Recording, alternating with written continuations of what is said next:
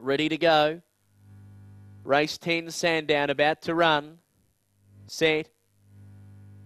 Racing.